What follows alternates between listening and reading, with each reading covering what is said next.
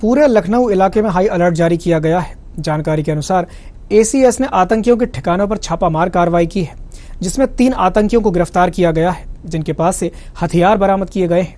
बताया जा रहा है कि ये सात लोग एक घर में रह रहे थे, जिनमें से पाँच लोग फरार हो गए हैं। पाँच आतंकियों के भागने की खबर के बाद लखनऊ और आसपास के जिलों में अलर्ट जारी किया गया है।